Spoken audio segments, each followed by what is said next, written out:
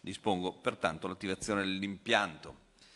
L'ordine del giorno reca le audizioni informali in videoconferenza nell'ambito dell'esame di legge C 1630 di conversione in legge del decreto legge 29 dicembre 2023 numero 212 recante misure urgenti relative alle agevolazioni fiscali di cui agli articoli 119, 119 ter e 121 del decreto legge 19 maggio 2020 numero 34 convertito con modificazioni dalla legge 17 luglio 2020 numero 77 e eh, ascolteremo i rappresentanti di Confedilizia, di Confprocessioni, dell'Istituto Nazionale Tributaristi, di Federesco, eh, di Fe della Federazione Nazionale delle Progettazioni, Costruzioni e Infrastrutture CNL, di Finco e di ANCE.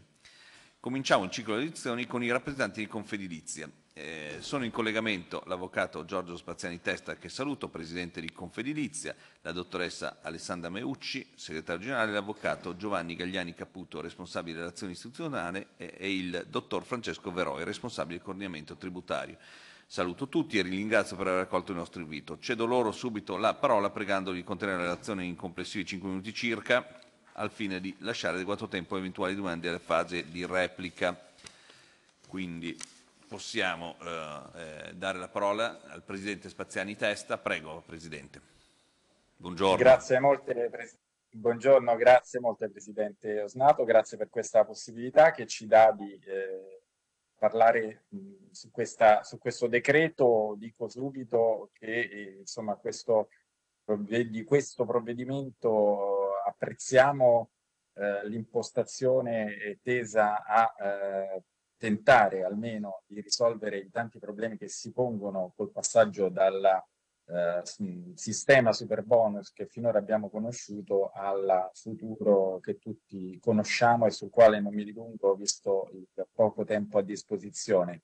Ehm, eh, c'è un enorme rischio di, sia di contenzioso sia di problemi economici rilevantissimi per le famiglie per questo passaggio. Non si entra qui naturalmente nel merito della vicenda super bonus storicamente perché prescinde il nostro giudizio, il giudizio di ciascuno di noi su, questo, su questa misura prescinde eh, rispetto a, queste, a, questa situazione contingente. Quindi questo provvedimento prova a fare qualcosa.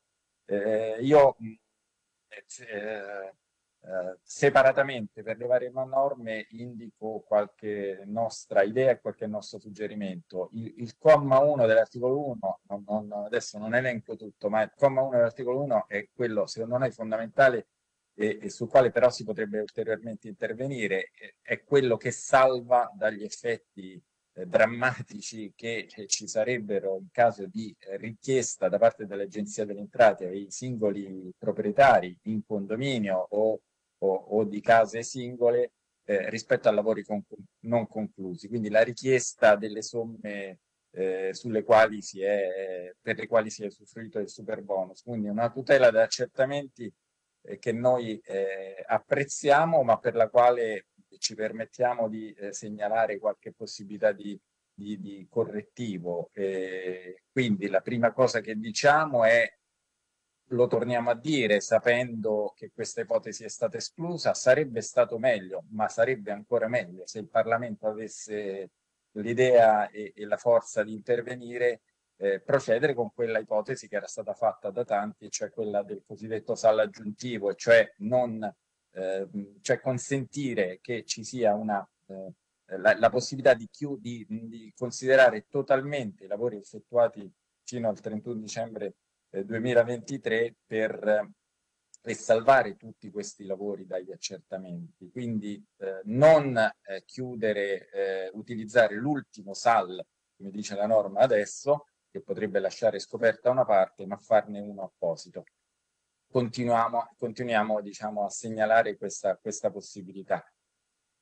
Sia in questo caso, sia mantenendo la struttura attuale, cioè dell'ultimo SAL eh, esistente, noi diciamo si potrebbe tentare di salvare qualche intervento in più, eh, per esempio eh, allargando questa tutela. Noi non crediamo che avrebbe costi per l'erario dal punto di vista tecnico, da relazione tecnica che abbiamo letto.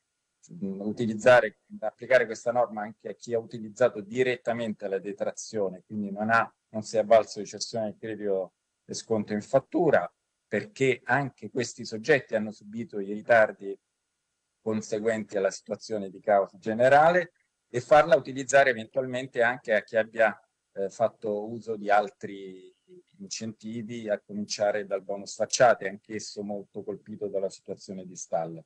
Con riferimento al comma 2, quello che eh, diciamo, consente di dare, eh, è finalizzato a dare un aiuto a chi ha redditi bassi con riferimento eh, alla, ai lavori, eh, consente di portare avanti i lavori fino a una parte del 2024, noi diciamo ottima l'intenzione, difficile che produrrà tanti effetti e quindi a maggior ragione è importante il comma 1, quello della salvezza degli accertamenti e rafforzarlo ulteriormente, perché diciamo difficile? Perché eh, il reddito di riferimento 15.000 euro per una singolo, poi diventa 30.000 lordi per una coppia, eccetera, eh, intanto eh, comprende naturalmente una, una eh, piccola fascia di una parte solo dei soggetti, ma soprattutto c'è un problema nei condomini. Eh, nei condomini eh, ci sono soggetti con redditi di un tipo e redditi di altro tipo e, e, e diciamo avvantaggiare giustamente i soggetti di minore capacità reddituale non consente di avere la certezza della conclusione dei lavori perché poi gli altri condomini, andiamo sul pratico, devono eh, diciamo, eh, operare i versamenti. Non solo, ma i versamenti, da come leggiamo la norma, e qui ci permettiamo di chiedere anche un chiarimento, eh, devono effettuarli anche coloro che avrebbero, che avranno diritto al contributo. E se è giusta la nostra lettura, cioè il versamento deve essere prima effettuato e poi il contributo da determinarsi arriva successivamente, noi chiediamo uno sforzo in più nel tentare di far sì che questo contributo possa arrivare prima del versamento, ci possano essere dei meccanismi per superare il problema dell'anticipazione delle spese. Eh, con riferimento all'articolo 2 eh, non abbiamo osservazioni sul comma 1 che cambia le ipotesi eh, riguardanti eh, da, diciamo, le, gli interventi per la messa in sicurezza giudichiamo negativamente, io vado per flash naturalmente visto il tempo, ma giudichiamo negativamente eh, la norma che prevede eh, l'obbligo assicurativo di assicurazione contro le calamità naturali che abbia effettuato interventi a super bonus, intanto perché è scritta in modo mh, non del tutto chiaro in, per, per, quanto riguarda i contorni eh, della disposizione e poi perché al di là della fattispecie specifica noi notiamo eh, anche in seguito alla legge di bilancio, una certa tendenza a piano piano introdurre un obbligo assicurativo che se fosse esteso in linea generale sarebbe eh, veramente eh, molto pesante per i proprietari immobili. Ancora per Flash, e chiudo, articolo 3, eh, dove si parla di eh, barriere architettoniche, c'è una chiusura, una forte limitazione determinata dal eh, rilevata, diciamo, il rilevato utilizzo, diciamo così, disinvolto di questi incentivi importantissimi, importantissimi per il superamento delle barriere architettoniche, giusta l'intenzione di eh, limitare, eh, di, di, di, contenere fortemente queste, eh, così, questi abusi, noi diciamo, proponiamo che eh, laddove si è consentito, si, si consente ancora di eh, utilizzare questi incentivi eh, per interventi di superamento delle barriere architettoniche, ad esempio a chi, eh, ai disabili eh, che abbiano i requisiti previsti dalla legge, noi diciamo si potrebbe estendere questa possibilità, chiaramente in questo caso ci sarebbe un onere, a dirlo chiaramente, ma sarebbe credo un onere ridotto, perlomeno ai cosiddetti grandi anziani, cioè a soggetti che abbiano potenzialmente, spesso realmente, difficoltà eh, motorie. Mi riferisco in questo caso agli interventi di superamento per le architettoniche nelle singole unità immobiliari, perché per quelle in condominio c'è la limitazione generale che prevede adesso l'incentivo solo in caso di effettuazione di determinati interventi come ascensore ed altri. In, mo, in grandissima sintesi, anche se ho sforato i cinque minuti, è questo il nostro pensiero su questo provvedimento e quindi per Flash eh, apprezziamo l'intento di superare i tantissimi problemi che si creeranno e che si stanno già creando per il passaggio dal 110 al 70, qualunque cosa si pensi del 110 e qualunque cosa si pensi del 70, perché si prendono degli impegni e poi le somme vanno pagate, crediamo però si possa ancora intervenire per eh, migliorare questo provvedimento e speriamo che il Parlamento possa essere la, data, la sede adatta per farlo. Resto a disposizione per i minuti rimanenti per eventuali eh, interlocuzioni. Grazie Presidente anche per il rispetto del, del tempo che è, è, sempre troppo poco per queste audizioni purtroppo. Chiedo a qualche collega o al relatore se vogliono intervenire, ma mi pare che eh, sia stato ampiamente esaustivo il suo intervento, per cui non vedo neanche da remoto nessuna richiesta di intervento. La ringrazio molto e saluto lei e i suoi collaboratori eh, nella prossima occasione. Grazie mille. Grazie Presidente. Grazie, Grazie Presidente, arrivederci. Grazie.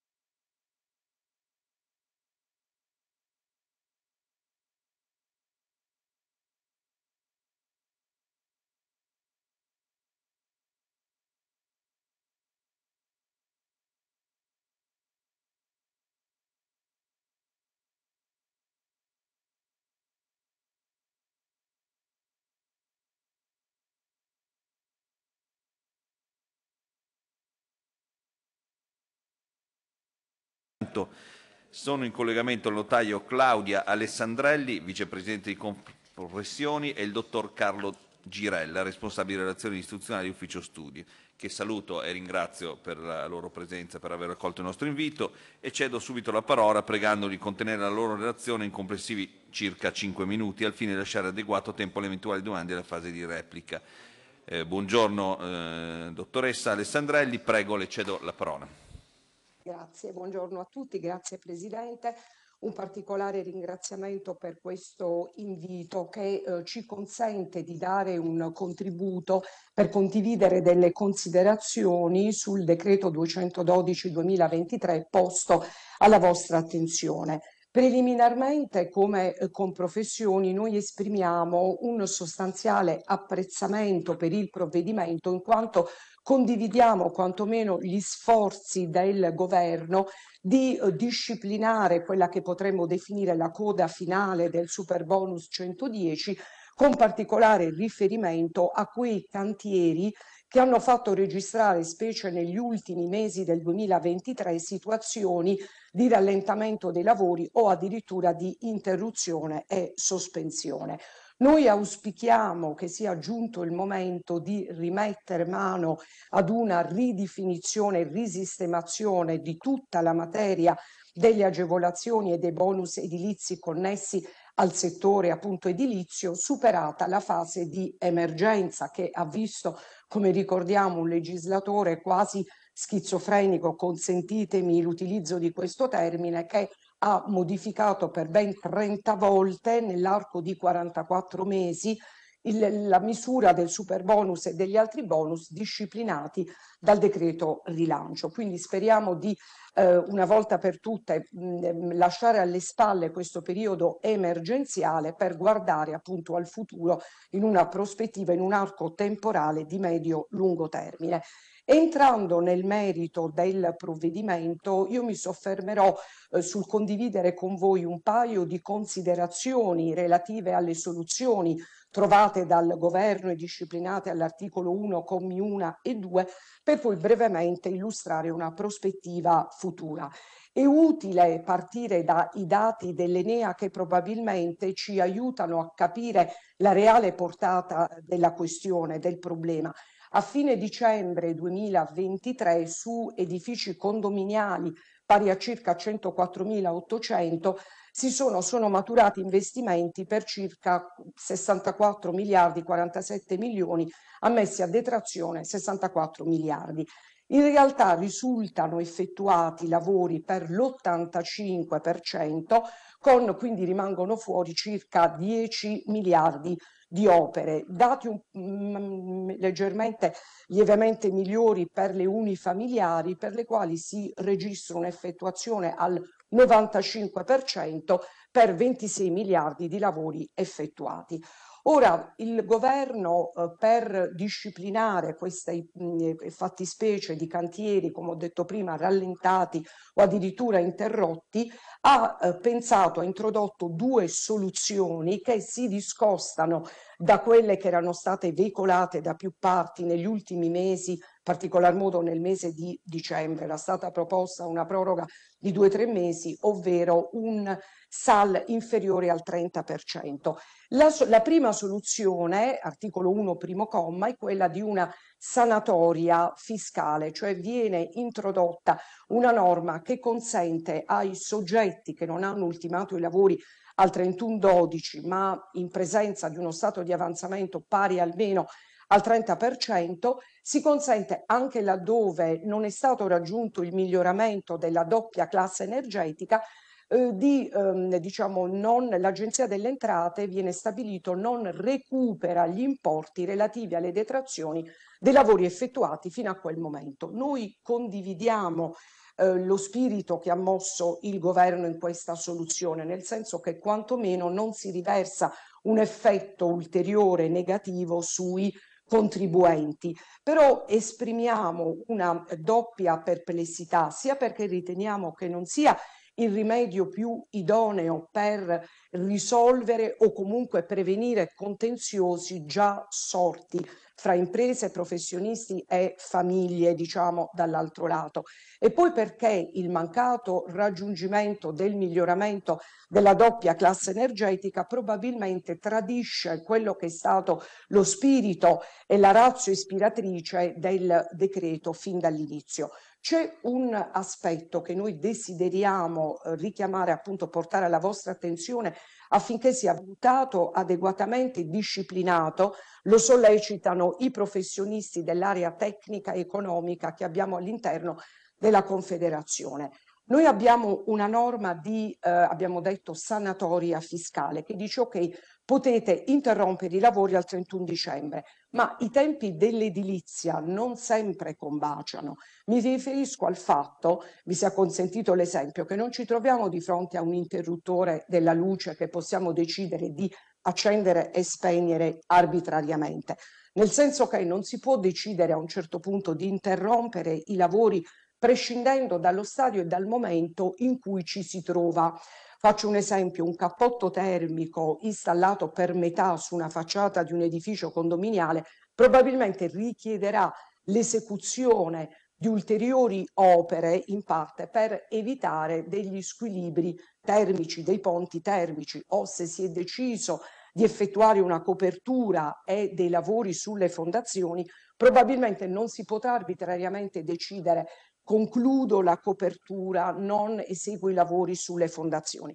Questo per dire che noi ci preoccupiamo e quindi questo è un aspetto che desideriamo segnalare, evidentemente per quelle opere che comunque dovranno essere ultimate un minimo per non danneggiare i lavori che sono stati effettuati fino a quel momento al 31-12 e quindi noi ci preoccupiamo di capire quale sarà la disciplina di quelle opere qualora non possa adesso essere applicata la disciplina del super bonus 110 ci chiediamo potranno essere, potrà trovare applicazione la disciplina dei bonus ordinari? Questo è un aspetto sicuramente da valutare e normare in sede di conversione Altro input, secondo comma dell'articolo 2, ci, eh, apprezziamo lo sforzo del governo di aiutare le fasce più deboli e quindi coloro i quali hanno redditi inferiori a 15.000 euro secondo il quoziente familiare, intervenendo con un contributo però per, per cercare di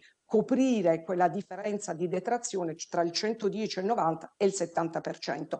Però eh, esprimiamo qualche perplessità perché il rimedio del il parametro del quoziente familiare che viene appunto eh, introdotto ed era stato già introdotto dal DL Aiuti Quater nel novembre del 2022, riteniamo che possa probabilmente eh, avvantaggiare poche famiglie, penalizzarne molte altre, perché è un parametro che avvantaggia le famiglie numerose. Noi sappiamo in Italia non sono tante perché il quoziente aumenta, diciamo, man mano che aumenta il numero dei componenti del nucleo familiare. Quindi pur apprezzando lo sforzo, giusto aiutare le fasce più deboli, dobbiamo capire se il rimedio del quoziente, del quoziente familiare sia il, la giusta soluzione. Ultimo input sull'articolo 2 per le aree sismiche, noi siamo preoccupati dal modo in cui è stata formulata la norma perché condividiamo che il legislatore abbia voluto mettere un limite a quelle che sono le opzioni di sconto in fattura e cessione credito per gli interventi nelle aree sismiche di fascia 1, 2, 3. Però riteniamo, e questo deve essere espresso a chiare lettere, che debba rimanere invariata la disciplina degli interventi su quegli edifici che sono stati danneggiati per il sisma a partire dal 1 aprile 2009, calamità naturali a partire da metà settembre 2022. Lo ha detto a chiare lettere il commissario straordinario sisma 2016, Castelli, è stata diramata la nota sul sito della Presidenza del Consiglio dei Ministri, però riteniamo che dirlo espressamente, cioè fare salva la previsione delle opere e dei lavori in quelle zone colpite dal sisma, sia opportuno. Ultimissima, perché il tempo appunto è scaduto, un'ultimissima considerazione con la prospettiva futura. Noi invitiamo il governo, il Parlamento a mettere mani ad una risistemazione, ridefinizione di questa materia dei bonus e delle agevolazioni connesse al settore dell'edilizia. Probabilmente oggi i bonus sono tanti, sono troppi, eh, sono disciplinati da norme complicate fra loro, anche piuttosto contraddittorie e diciamo allora poniamo mano a questa materia, magari riducendo le misure a due, tre, si può parlare di un credito d'imposta, si può rivedere il meccanismo degli incentivi, magari legandoli alla classe energetica, partendo da un presupposto, la partecipazione alle spese da parte del contribuente è un elemento assolutamente imprescindibile perché abbiamo visto il, quello che ha portato il mancato controllo e la mancata verifica da parte dei contribuenti come nell'ambito del bonus facciate. Sicuramente la ridefinizione, la risistemazione della materia deve partire dalla considerazione di quelle esternalità positive, cioè di quegli effetti, di quegli impatti positivi che il super bonus ha avuto a livello economico, a livello finanziario, a livello sociale. Probabilmente si è troppo, ci si è troppo concentrati sull'impatto sulla spesa, sul debito pubblico e un po' meno su queste esternalità positive che invece devono essere considerate a livello di miglioramento di efficientamento energetico, a livello anche di rinnovamento del patrimonio edilizio.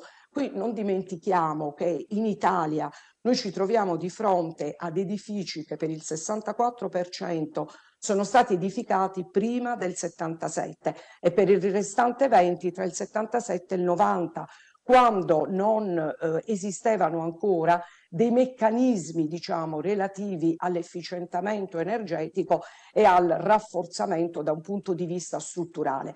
Quindi benvenga mettere mano alla materia, poi c'è l'altra esternalità dovuta all'aumento del PIL nel settore edilizio, nei settori connessi, l'aumento del gettito delle imposte, l'aumento occupazionale, tutti effetti positivi che non dobbiamo disperdere. Quindi d'ora in avanti cerchiamo di rimettere mano a questa materia in vista di un obiettivo che abbiamo di una scadenza che è quella della direttiva europea sulle prestazioni energetiche degli edifici che ci pone appunto due scadenze 2030-2050. 2050 gli edifici dovranno essere a emissione zero, ci dovrà essere la totale decarbonizzazione, quindi è giusto farci trovare pronti e preparati con un pacchetto di misure e di incentivi in modo che questa direttiva anche in Italia possa essere adeguatamente recepita. Ricordiamo che un ultimo dato, in Italia gli immobili residenziali energivori, cioè in classe G,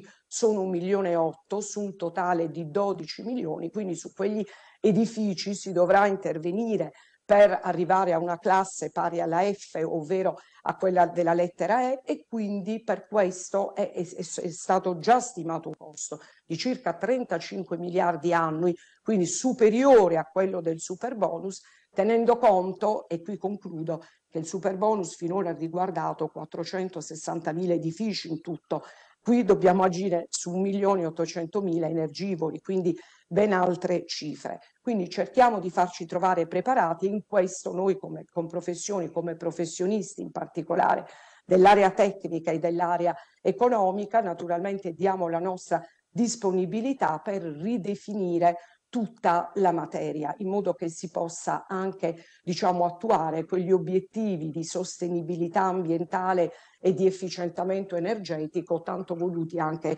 dall'Europa e dalla direttiva io vi ringrazio per l'attenzione, ho cercato di stare nei minuti. Grazie. Grazie, grazie mille dottoressa. E chiedo ai colleghi se hanno necessità di intervenire. Il dottor, l'onorevole D'Alfonso, prego onorevole.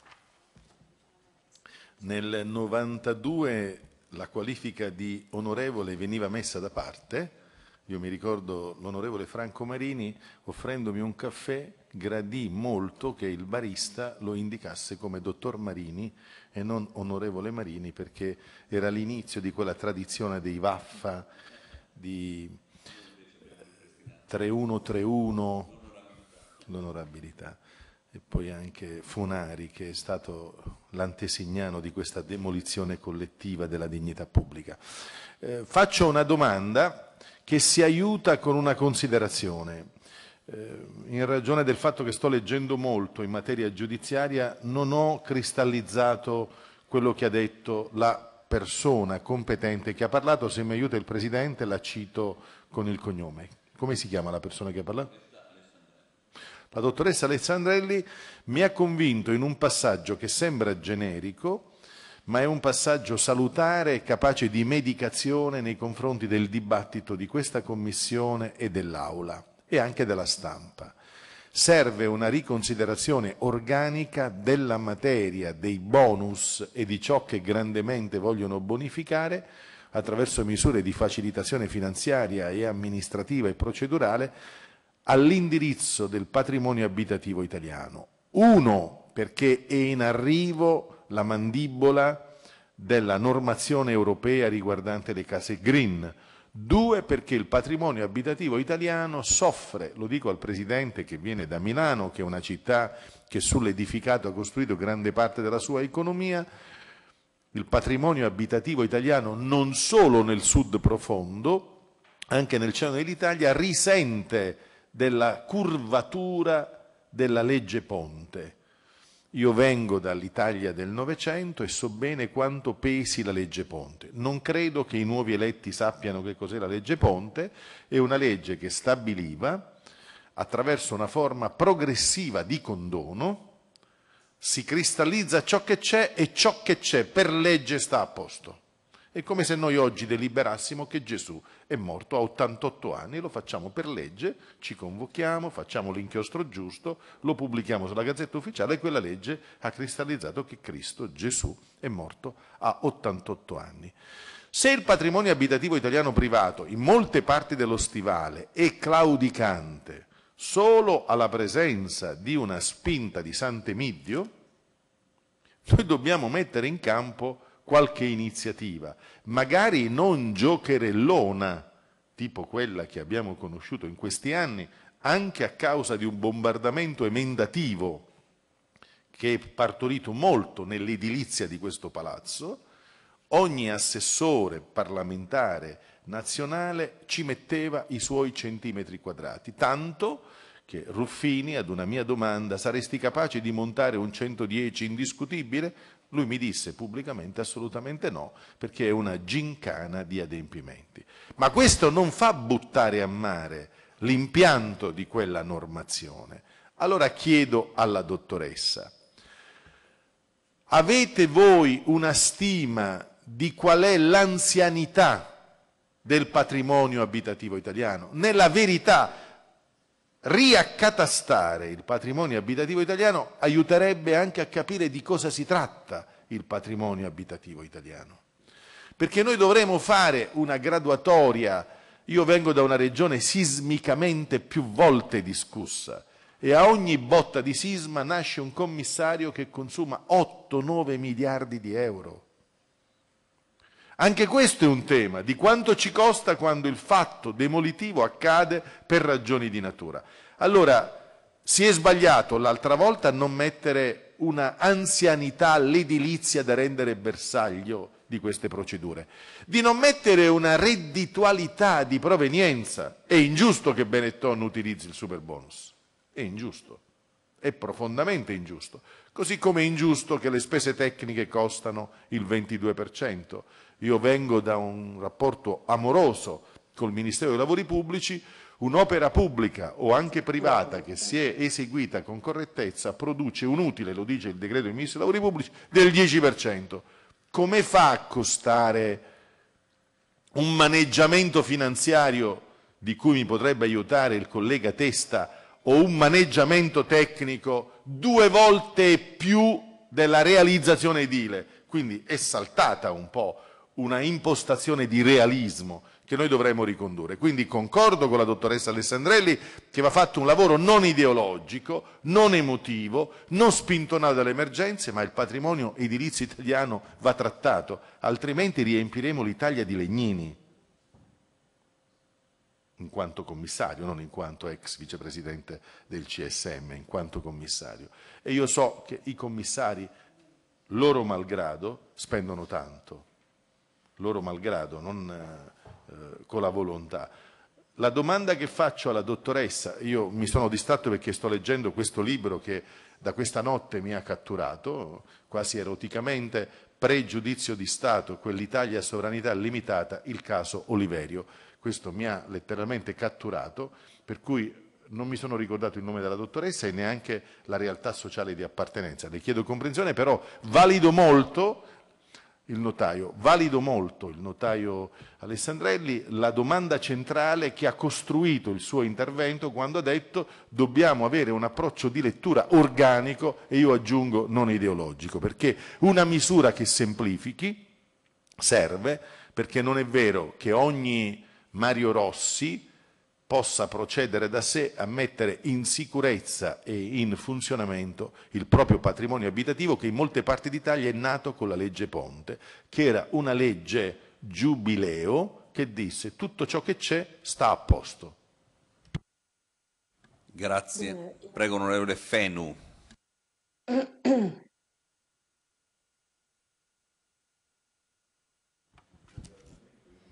Grazie Presidente. Mm, anch'io mi devo scusare che mi sono un attimo distratto, ma perché era interessante l'intervento della dottoressa Alessandrini e quindi cioè, insomma, abbiamo tratto spunto, Alessandrelli mi scusi, abbiamo tratto spunto insomma, per, per, discutere qua con, con i colleghi. Eh, giustamente credo che abbia suggerito di, di, di mettere ordine eh, alla materia, su questo siamo tutti d'accordo, gli atteggiamenti sono stati estremi eh, da parte del, insomma, da, della parte politica probabilmente, ma c'erano situazioni di emergenza, di necessità, da parte ministeriale con, questa, uh, insomma, con questo contrasto furioso a, a, un meccanismo che comunque era nuovo nel nostro ordinamento. Eh, mh, faccio una premessa e poi faccio la domanda. Eh, era già previsto, è previsto che eh, la percentuale di detrazione scenda al 70% da quest'anno, da quando è nata il, il super bonus, il bonus edilizi, e soprattutto il super bonus era già previsto un decalage eh, fino al 65% addirittura. Eh, ed è una percentuale assolutamente condivisibile anche perché da quelle che sono state le stime di, di, insomma, di Censis, Nomisma e diversi istituti autorevoli, ma da quello anche che si dice che circoli al Ministero dell'Economia, quindi una stima sulle retrazioni attorno al 60% di quello che è l'investimento da parte dello Stato, con una percentuale di detrazione del 60-65% nel medio-lungo termine realisticamente si può pensare a una misura ehm, stabile di efficientamento energetico praticamente a costo zero per lo Stato, eh, quindi questo è da prendere in considerazione. Eh, con quello che eh, creano misure di questo tipo non solo lo sappiamo nell'economia, nell'efficientamento delle abitazioni, eccetera, eccetera, ma quello che ha creato nella testa degli italiani. Voi andate a chiedere a chi è riuscito a fare il super bonus, quindi a efficientare la propria abitazione, se è disposto in futuro a ritornare indietro, installare un impianto a gas, un impianto a gasolio, se eh, lui sarebbe disposto in futuro a, a, diciamo, ad attingere a quelle che sono le energie fossili. Io credo proprio di no e questa è la rivoluzione più grande che ha portato in Italia una misura di questo tipo. Ha cambiato in questo senso la testa degli italiani, ci ha proiettato verso quello che è l'utilizzo delle energie rinnovabili e l'autoproduzione. Questo secondo me è il merito più grande. Fatte tutte queste premesse, assolutamente eh, condivido saremo anche in qualche modo costretti a farlo, nella necessità di rendere stabili i bonus per l'efficientamento energetico. Eh, però ovviamente questa stabilità deve eh, comportare anche l'utilizzo di meccanismi che hanno funzionato perché le spese sono tali per cui le famiglie, i condomini normali, che hanno stipendi normali, che hanno redditi normali, non possono anticipare e poi attendere di recuperare in dichiarazione redditi negli anni. Quindi e mettere ordine, eh, chiedo eh, se eh, si pensa anche eh, con la eh, continuazione dell'utilizzo dello strumento della cessione del credito dello sconto in fattura. Grazie. Onorevole Del Barba, prego.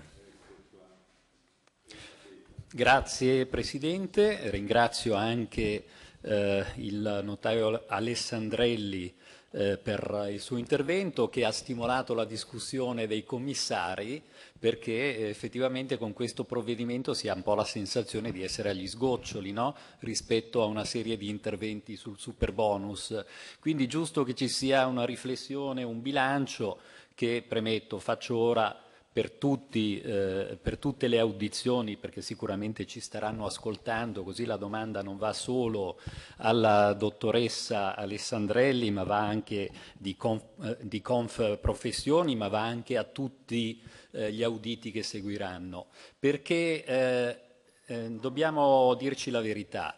Questa misura, come tutte le misure che migliorano la qualità del patrimonio edilizio sia dal punto di vista sismico che dal punto di vista energetico, è una misura che tra le storture che sono state più volte evidenziate evidentemente lascia eh, sul nostro territorio degli effetti positivi, eh, però lo fa ad un prezzo che non è solo quello eh, del costo eh, lievitato per eh, le casse pubbliche, un prezzo eh, decisamente esagerato. Da questo punto di vista sia io personalmente che il mio partito abbiamo da subito segnalato quali fossero i pericoli eh, contenuti in questa misura, le incongruenze, in particolar modo il fatto che il combinato disposto di 110 più cessione del credito andava a togliere eh, qualsiasi tipo di contrasto di interessi, innescando quindi una spirale di lievitazione dei costi e anche di imperizia rispetto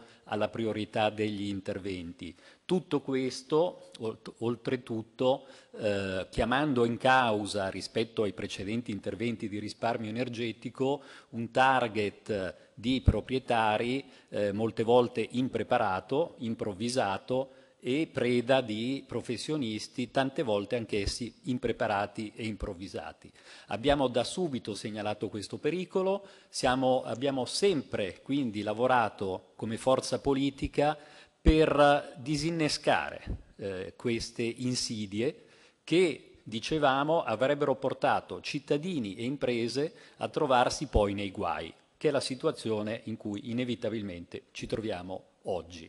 E questo peraltro mi permette di dire che non sarà l'ultimo intervento Dovremo fare sicuramente degli interventi di interpretazione autentica laddove inizieranno eh, da parte dell'Agenzia delle Entrate eh, tutte eh, le verifiche, dovremo fare delle correzioni normative perché questi guai eh, andranno a palesarsi, a emergere, vie più questi controlli proseguiranno.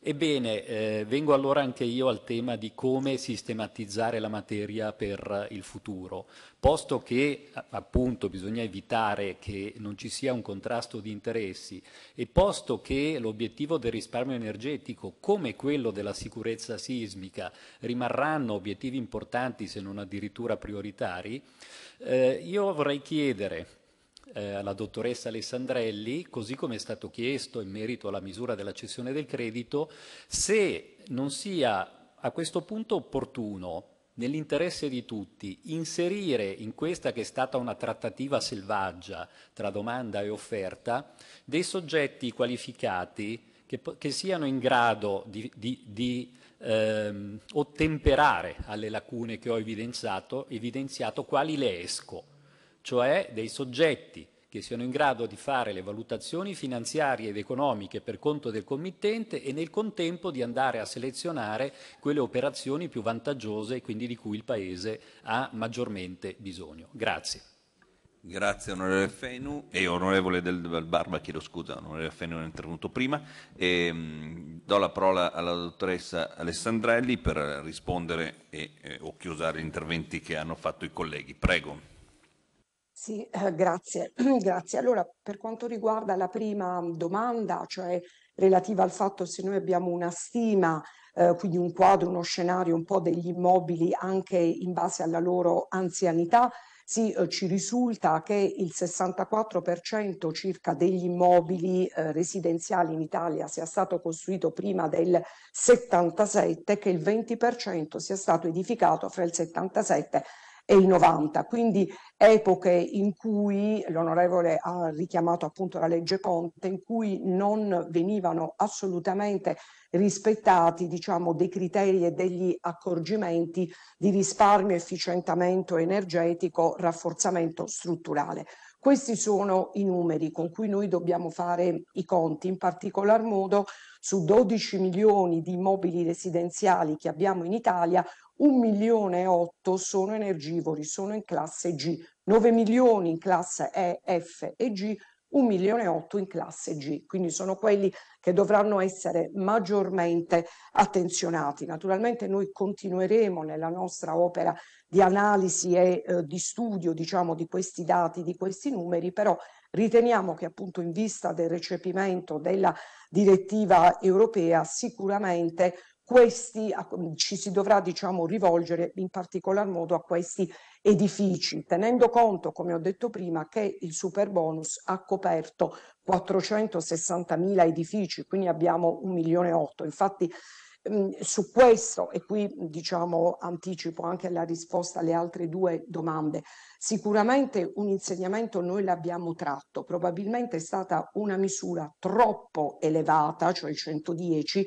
rivolta a troppi pochi edifici. Chiaramente un conto è parlare di una detrazione del 110, un conto di una detrazione ovviamente del 70 e dell'80 eh, scusate la banale osservazione, ma è ovvio che a quel punto si può rivolgere a un numero maggiore e superiore di edifici.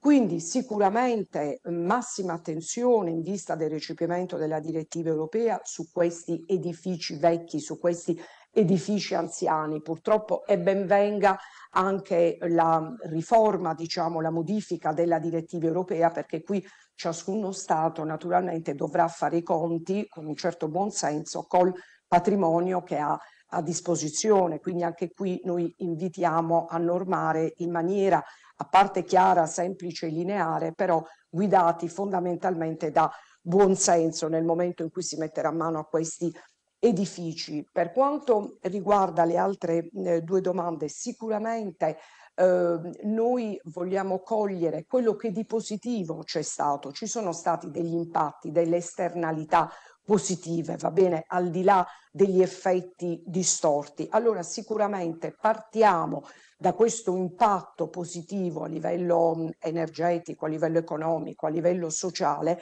per scrivere una, nuovamente diciamo, la materia dei bonus e delle agevolazioni, però con l'input di ridurre le tipologie di bonus e di detrazioni. Oggi sono tante, sono troppe, dobbiamo ridurre a due, tre misure fondamentalmente. Sicuramente continuare, ecco un elemento fondamentale, la compartecipazione alle spese che abbiamo detto consente un controllo, una verifica da parte dei contribuenti, cosa che nel bonus facciate non è avvenuto, e sicuramente una quindi compartecipazione anche parziale alle spese, norme chiare, norme semplici, diciamo, e un arco temporale lungo, almeno di 10-15 anni. Sappiamo tutti che questa era una norma emergenziale, una norma shock, diciamo, dettata nel 2020 quando si doveva uscire dalla crisi pandemica, un po' quello che avvenne nel 2008, ma è giusto che queste misure rimangano straordinarie e quindi limita eccezionali, limitate nel tempo, quindi arco temporale lungo in modo che la detrazione appunto possa sfruttare e utilizzare questo arco temporale, cessione del credito e sconto in fattura che in realtà sono stati forse il vero volano diciamo di questa misura ma vanno normate e disciplinate con estrema prudenza. Proprio perché abbiamo visto gli effetti distorti cui hanno dato luogo quindi sicuramente possono trovare accoglimento ma con una normativa estremamente prudente e rivolta naturalmente a determinati soggetti, cioè sicuramente si deve rideterminare l'ambito oggettivo e soggettivo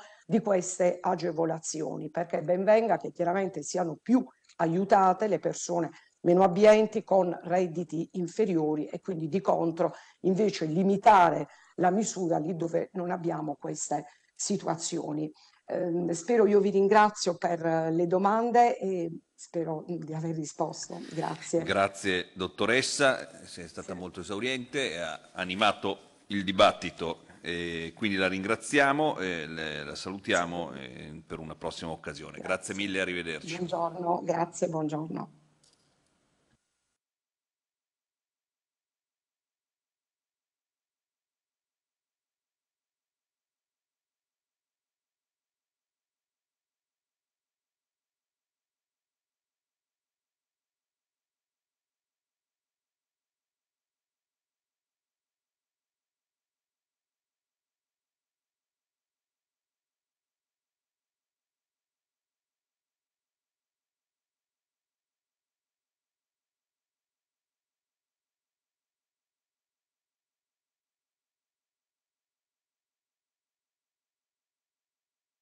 Attraverso la trasmissione diretta sulla web tv della Camera dei Deputati.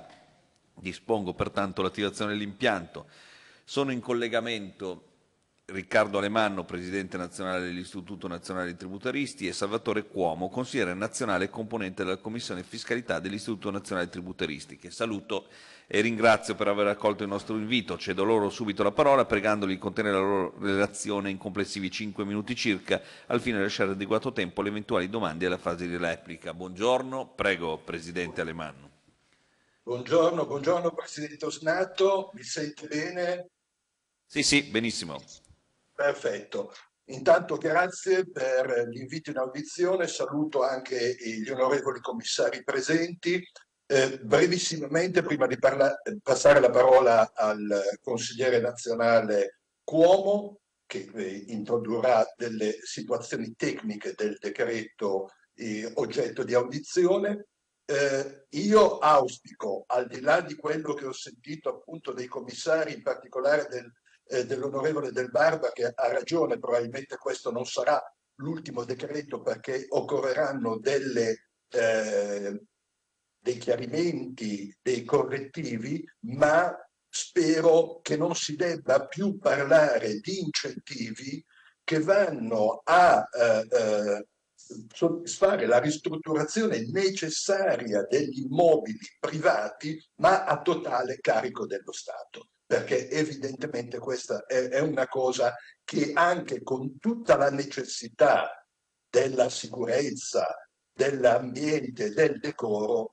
farlo su un immobile privato e senza contrasto di interessi ovviamente ha comportato quelle che sono le problematiche sotto gli occhi di tutti. Ciò detto però siamo anche noi assolutamente d'accordo, l'abbiamo ribadito più volte anche in altre audizioni sui crediti d'imposta di carattere immobiliare, il fatto che le agevolazioni devono essere strutturali e non si deve ogni anno pregare la bontà del Parlamento, del governo perché ci sia una proroga, perché gli investimenti sugli immobili devono avere una progettualità di periodo negli anni. È successo col 110%, ma anche col bonus facciate, purtroppo, che un'offerta smodata ha trovato una domanda una, una, domanda smodata, trovato un'offerta impreparata e sono successe le, le problematiche di eh, malaffare anche che sono seguite.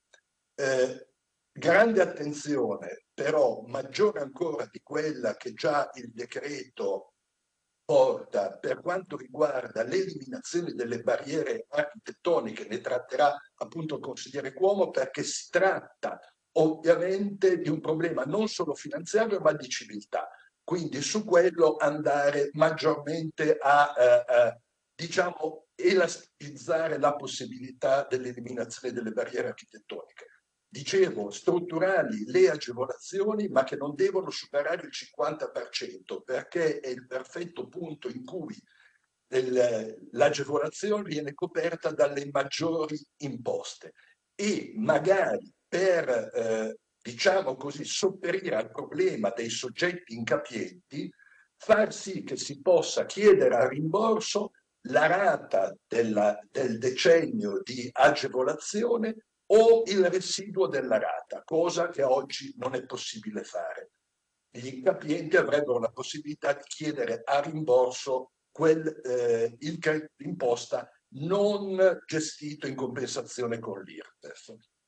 Eh, lascio pertanto, ringraziando ancora il Presidente e i commissari, la parola al consigliere Cuomo per gli interventi tecnici. Grazie Presidente. Grazie Presidente. Prego, dottor Cuomo.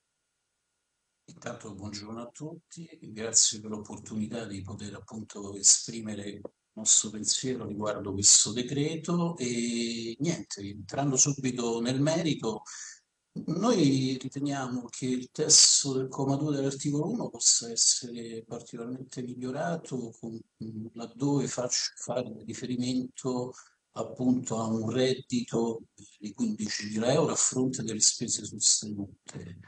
Sul punto la nostra idea è quella di meglio definire il richiamo a questi 15.000 euro, stabilendo che per le persone fisiche questo importo o quello che magari riterrà eh, diciamo, la commissione più opportuno, venga in qualche modo riferito, come dicevo, non al reddito ma a un valore sé.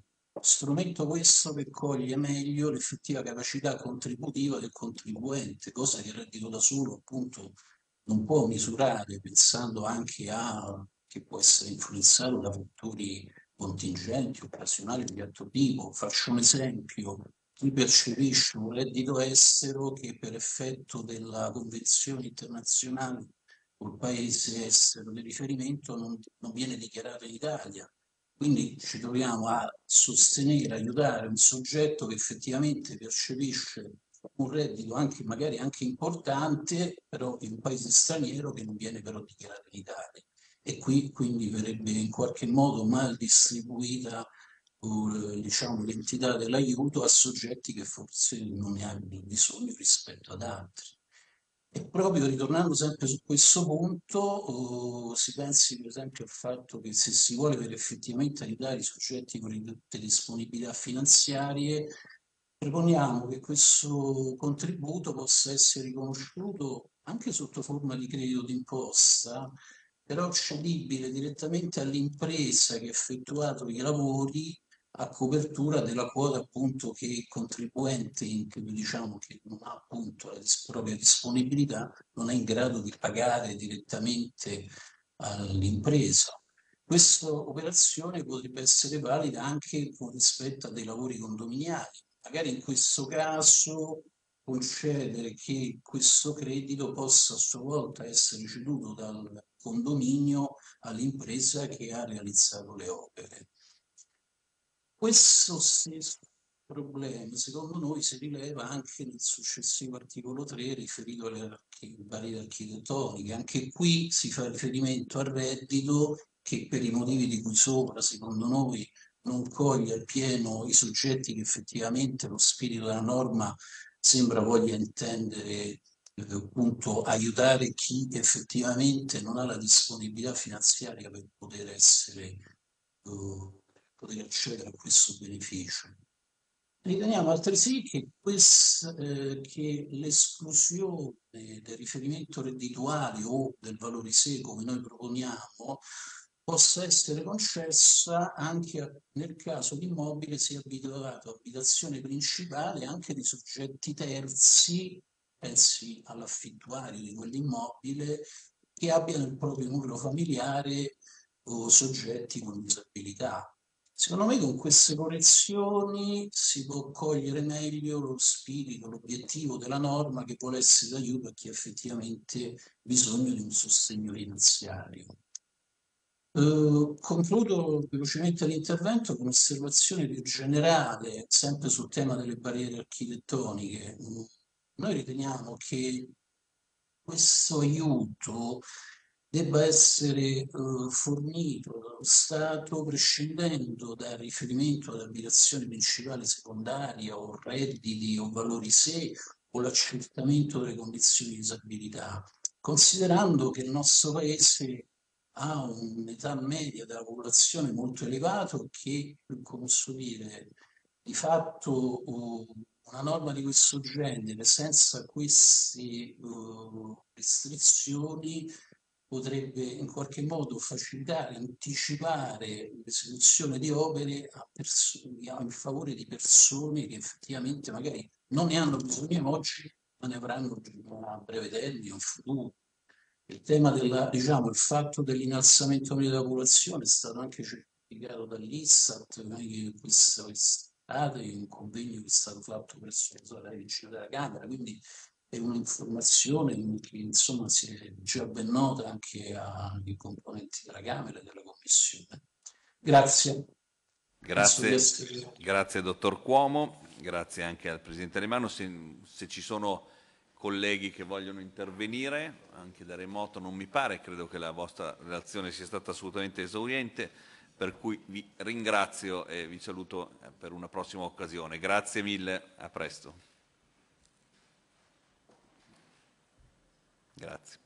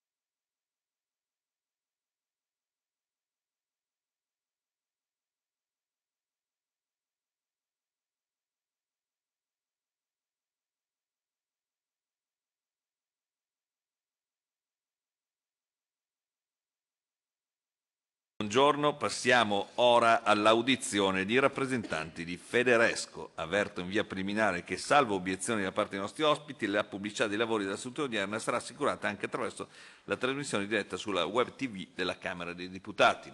Dispongo pertanto l'attivazione dell'impianto. È in collegamento Claudio Ferrari, presidente di Federesco, che saluto e ringrazio per aver accolto il nostro invito. Gli cedo subito la parola pregandolo di contenere la sua relazione in complessivi 5 minuti circa, al fine di lasciare adeguato tempo a eventuali domande alla fase di replica. Buongiorno Presidente Ferrari, a lei la parola. Buongiorno Presidente Ornato. Intanto vi ringraziamo di averci invitato, però vorremmo partire da una nota triste, che poi non vorremmo che si trasferisse su tante situazioni. Avete letto tutti che circa una settimana fa una uh, signora disperata si è buttata dal nono piano del suo palazzo con la bambina in collo e la bambina purtroppo è morta e ha dichiarato che questa situazione, questa situazione di grande frustrazione per la signora che, e soprattutto per la bambina, che giovane bambina è morta immediatamente, era provocata dal super bonus. Non vorrei che questa situazione si ripercuotesse in altri momenti e questo perché sarebbe una responsabilità, scusatemi, ma di tutti voi, perché se siamo arrivati al punto in cui c'è gente che è costretta a buttarsi dalle finestre perché è disperata per recuperare i soldi del super bonus, penso che questa sia una riflessione che va fatta da tutte le forze politiche perché il tema del super bonus non è stata una volontà di Tizio o di un partito o di un altro, è stata una volontà dello Stato, è una legge dello Stato e non penso che sia corretto che i, i rappresentanti dello Stato e i rappresentanti dei cittadini si nascondano dietro questo aspetto. Quindi il primo punto è questo, bisogna evitare che altra gente si ammazzi e per evitare questo bisogna tornare a quello che si è detto centinaia di volte, che le leggi non possono essere fatte e cambiate continuamente. E su questo punto ritengo che non ci sia assolutamente nessun dubbio che la responsabilità non sia che esclusiva, e sia esclusivamente del governo e dei nostri rappresentanti. Quindi questo è un richiamo forte ad evitare che nuove situazioni si ricreino. Per quanto riguarda nel merito la, la, il decreto legge, il decreto legge, vorrei intanto evitare di fare confusioni su questo tema perché eh, forse fare decreti continuamente, legiferare continuamente non crea certo una situazione di chiarezza, anzi crea solo una situazione di confusione. Quindi bisognerebbe anche fermarsi e decidere una volta per tutti che il super bonus deve essere risolto. I metodi, come fare? Beh, questi sono strumenti vostri, però, perché siete voi che avete questo potere, non io purtroppo. Noi possiamo solo dare dei consigli e sono i consigli appunto del buon padre di famiglia che vorrebbe evitare situazioni disperate. Entrando poi nel merito, vi abbiamo lasciato una presentazione nostra molto breve e con allegati due documenti. I temi principali che abbiamo affrontato per cercare di eh, alleggerire questa situazione, intanto riguardano per esempio la gestione delle onlus, che all'improvviso con un decreto, con una una circolare addirittura dell'Agenzia delle Entrate in data 8 gennaio hanno completamente modificato la possibilità per le onlus di gestire il 110. Anche questa è un'altra attività che non può essere, un'altra situazione che non può essere eh, così alla leggera accettata. C'è chi le legifera, c'è chi fa le leggi, chi è che chi le deve applicare e poi in più abbiamo un ente terzo che modifica quello che è stato deciso ritengo che anche questo sistema non sia assolutamente accettabile. Quindi c'è da rimettere a posto, come nell'allegato, da mettere a posto. Noi chiederemmo che venisse messo a posto per salvaguardare la, la marea di RSA e di enti eh, di, del terzo settore, di ONU del terzo settore che sono escluse completamente dalla gestione del 110.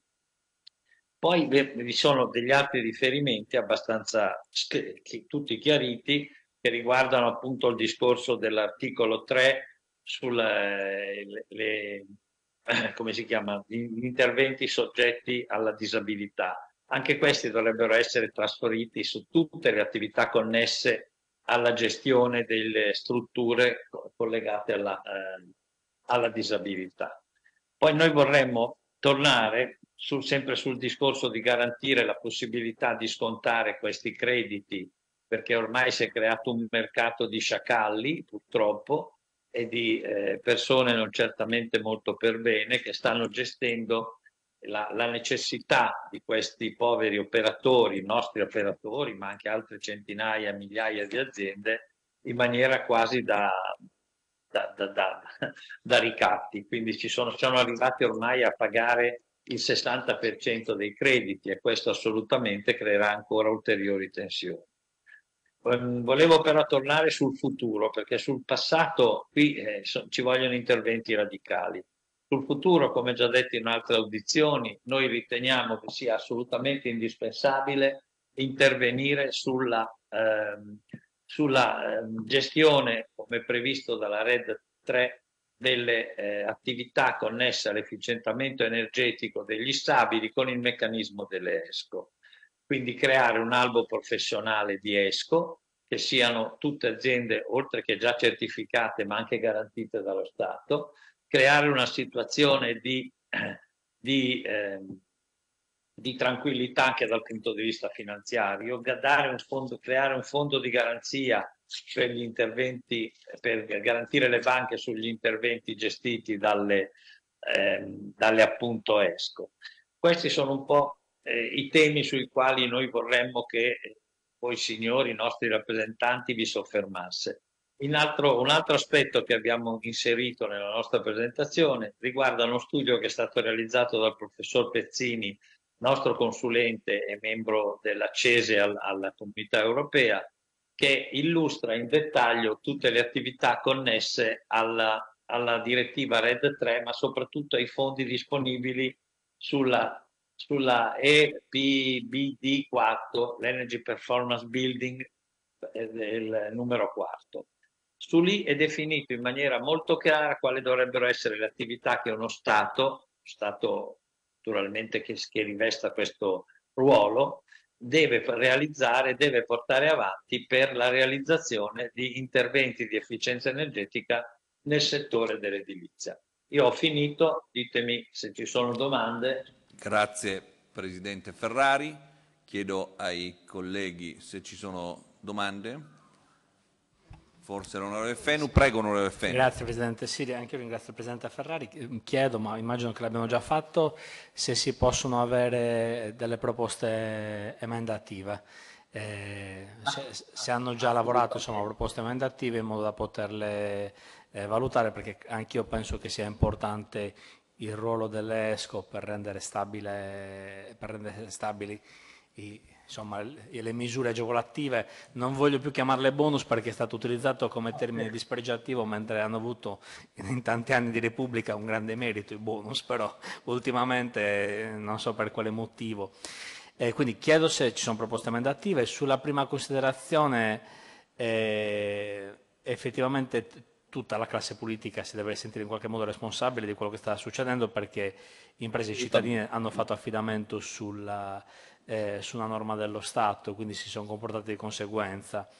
E io mh, non mi sto fermando anche in commissione dal presentare continuamente anche delle interrogazioni, delle richieste di dati, di documenti, eh, perché credo che avere un quadro completo di tutto sia il modo migliore anche per, per poter poi prevedere una, una certa stabilità questo, per questo tipo di misure. Allo stato attuale eh, notizia di ieri Banca Italia ci ha detto che eh, nel 2023 gli incassi di imposte, quindi le entrate tributarie, sono ulteriormente aumentate di 33 miliardi eh, nel 2023, 98 miliardi nel 2021-2022, eh, non sono tutti ovviamente riconducibili ai bonus edilizi, eh, andrebbe stabilito per quanto sono riconducibili ai bonus edilizi perché allo stato attuale in ogni caso lo Stato ci sta guadagnando e come perché quello che è stato utilizzato, eh, abbiamo chiesto qua eh, in Commissione Finanze,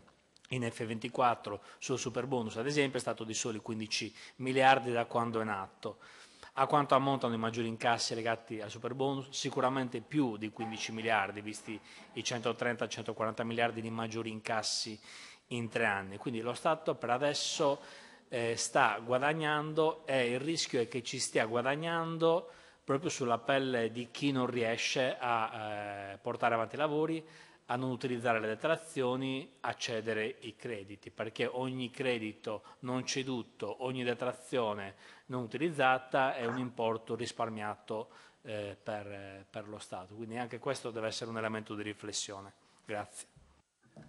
Grazie mille onorevole Fenu. non ci sono altri interventi. Eh, non so se vuole chiosare il Presidente Ferrari in questo intervento. Prego.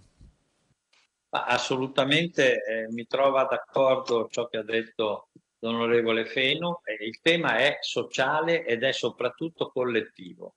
Non si può fare una legge, chiunque l'abbia fatta, firmata col sigillo dello Stato e trovarsi dopo anni continuamente con cambiamenti, con modifiche, con eh, pastoie che rendono impossibile la gestione. Bisogna sbattere in galera senza tanti giri di parole chi è che fa cazzate, scusate il termine, non so se ha dato l'aula, ma comunque il concetto ci va, e, e bisogna sbattere in galera chi è che si comporta in maniera scorretta, però non si può penalizzare migliaia di persone semplicemente per motivi che tragicamente sono di cassa. Oltretutto, ripeto, a fronte della comunità europea che sta stanziando miliardi, per l'Italia pare che siano più di 12 miliardi che arriveranno proprio sulla, eh, all'interno del Green Building, dell'Energy Performance Building Energy. Quindi ci sono i soldi, bisogna spenderli bene, ma soprattutto utilizzando sistemi, quale l'attività delle ESCO, che non hanno assolutamente bisogno di risorse dirette se non quelle che sono norme precise, cosa che fino ad oggi non c'è stata, ma speriamo che prima o poi diventi operativa.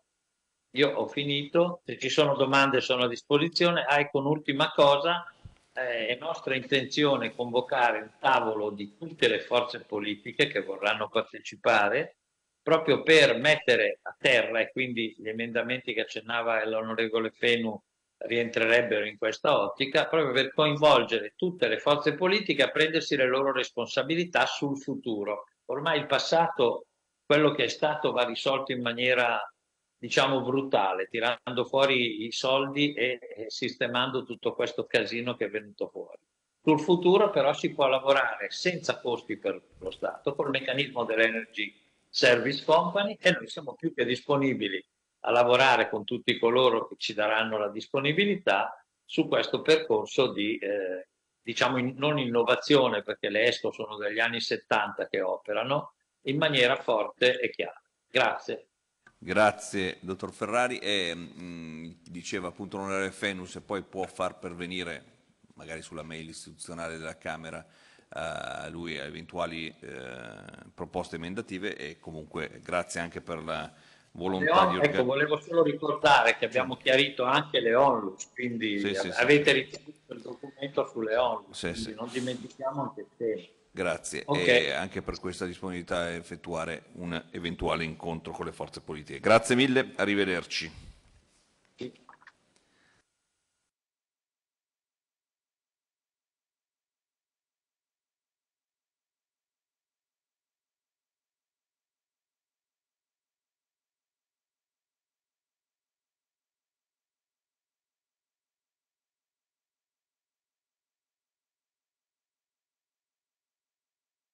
Preliminare che, salvo obiezioni da parte dei nostri ospiti, la pubblicità dei lavori della seduta odierna sarà assicurata anche attraverso la trasmissione diretta sulla web TV della Camera dei Deputati. Dispongo pertanto l'attivazione dell'impianto. Sono in collegamento Catalin Pintilie, Presidente della Federazione Nazionale di Progettazione, Costruzione e Infrastrutture CNL, Domenico Passarella, Vicepresidente, che saluto e ringrazio per aver accolto il nostro invito. Cedo subito la parola pregandoli di contenere la relazione in complessivi 5 minuti circa al fine di lasciare adeguato tempo a eventuali domande nelle fasi di replica. Prego. Dovrebbe accendere il microfono, per favore. Buongiorno. Grazie. Gentilissimi signori onorevoli, Presidente e Vicepresidenti della Commissione Finanze della Camera dei Deputati.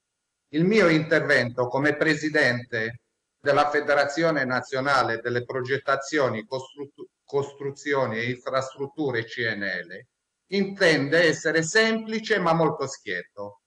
Considerata la seria e gravissima eh, situazione generata in cui si trovano migliaia di imprenditori, committenti e professionisti. Prima di tutto prendo atto che l'attuale governo, nonostante sia intervenuto otto volte senza riuscire a risolvere il vero problema. Il problema non è l'aliquota, quantomeno la libera circolazione dei crediti. Sono state invocate le truffe per bloccare incentivi nell'edilizia e il così buco di bilancio non c'è, viene smentito rigorosamente dai fatti e dimostrato dai comunicati del Ministero dell'Economia e Finanze con i comunicati stampa 34 e 42 del marzo 2023 dove viene dichiarato che a beneficio dei incentivi eh, fiscali, dei bonus, sono stati ammessi a, a detrazione circa 40 miliardi. Viene dichiarato pure che c'è un extragettito di sessa, quasi 69 miliardi dovuto al, ai incentivi. Quindi non c'è un buco di bilancio. Eh, c'è anche l'audizione del com eh, generale comandante della Guardia di Finanze dove dichiara che le truffe sul super bonus sono sotto la soglia fisiologica. La verità è che lo Stato ha vi violato palesemente il legittimo affidamento. Stiamo stati offesi da un ministro che ha definito i cittadini dei drogati e illusi solo per aver rispettato una legge dello Stato. Vi invitiamo come federazione a riflettere e intervenire positivamente affinché si esca dall'impasso in cui siamo per evitare ulteriori fallimenti e gesti estremi mossi dalla disperazione in cui sono stati letter letteralmente gettati i cittadini. I numeri dei soggetti coinvolti sono ben documentati nella nostra documentazione che è stata consegnata. Ho l'impressione che manchi in questo momento la consapevo consapevolezza da parte del governo. Vi invito a rispettare le promesse e i patti fatti in campagna elettorale. Grazie. Grazie, chiedo se ci sono interventi dei commissari. Non mi pare. Allora ringrazio il Presidente Federa della Federazione Nazionale delle Progettazioni, Ricostruzione e Infrastrutture CNL eh, Catania in Pintilie. Eh, eh, grazie mille per la sua testimonianza e la saluto. Grazie. Grazie.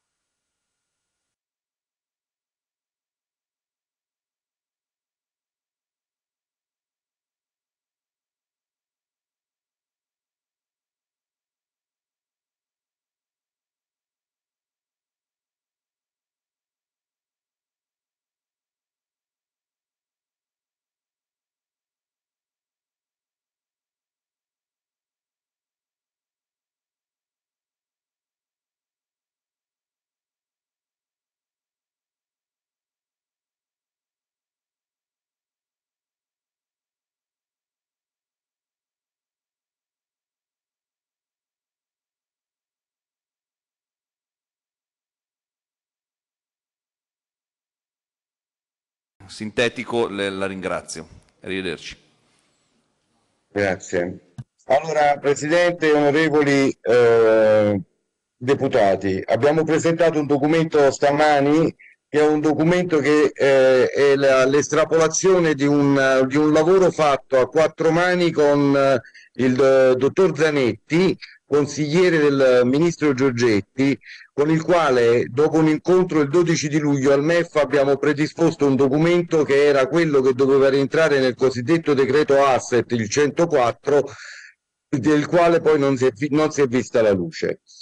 Per cui chiediamo in nove punti alcune, eh, alcune situazioni. Uno è il rinvio delle scadenze dei termini del sostenimento della spesa sia per le unifamiliari che per i condomini al 31 marzo 2024, purché i condomini abbiano eseguito al 31-12-2023 almeno il 60% dei lavori, con, mediante la realizzazione di un SAL. Chiediamo in più una serie di eh, moratorie eh, per le imprese e per i cittadini che hanno usufruito e per i professionisti che hanno usufruito degli incentivi fiscali ed hanno crediti giacenti sui propri cassetti a partire già dal 2022, visto l'incaglio dei crediti, e eh, nello specifico eh, che non vengano eh, che venga mh, prorogata la scadenza del documento eh, della regolarità contributiva al 31-12-2024 che non venga eh, considerata la sopravvenienza attiva per i crediti giacenti sul cassetto fiscale del 10% ai fini del calcolo delle imposte che per le imprese eh, per le imprese professionisti che alla fine dell'anno del 2023 hanno crediti giacenti in ragione di un 20% del volume del fatturato. Venga, possa essere compensato anche il, il meccanismo, eh, possa essere compensato il debito fiscale anche in presenza di un avviso di accertamento che vengano sospesi con tutti gli atti giudiziali eh, che sono in corso eh, a seguito dei contenziosi per mancati pagamenti, sempre per le imprese, per i professionisti e per i committenti che hanno crediti giacenti sui cassetti fiscali e che a seguito della mancata monetizzazione non hanno potuto onorare gli impegni, vengono sospese tutte le azioni giudiziarie che per i cittadini che hanno acquistato immobili e che non hanno potuto prendere la residenza nel periodo dei 30 mesi venga prorogata per ulteriori sei mesi e comunque entro la fine del, eh, del, eh, entro la fine dell'ultimo dalla, dalla, fine dei lavori ulteriori sei mesi per eh, le, le, le, entrare in possesso della residenza ehm, per i committenti che hanno sostenuto la spesa, i cui incentivi di, degli incentivi edilizi che intendevano esercitare l'opzione per lo sconto in fattura di consentire a questi soggetti, quindi ai cittadini, la possibilità di cedere anche la sola annualità.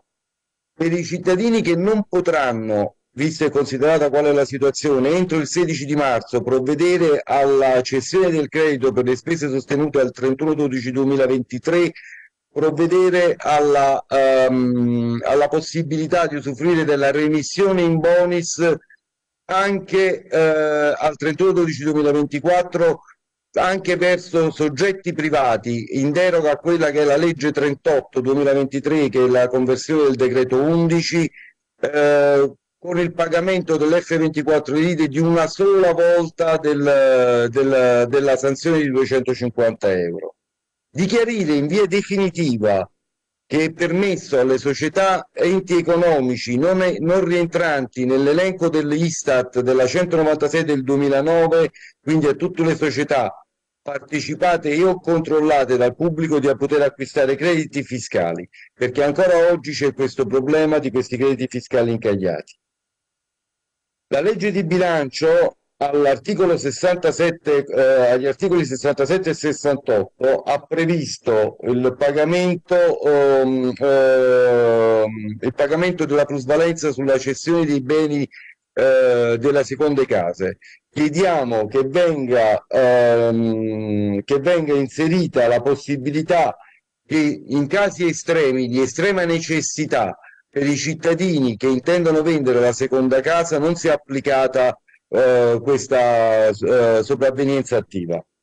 Nella legge di bilancio l'articolo 1,88 che modifica l'articolo 25 del decreto legge 31 maggio 78 ne chiediamo l'abrogazione di tale comma e chiediamo l'abrogazione dei commi della legge di bilancio 86 87 che prevedono che l'Agenzia dell'Entrata possa fare le verifiche per le mancate, eh, veri, eh, le, per le mancate eh, adeguamenti catastali.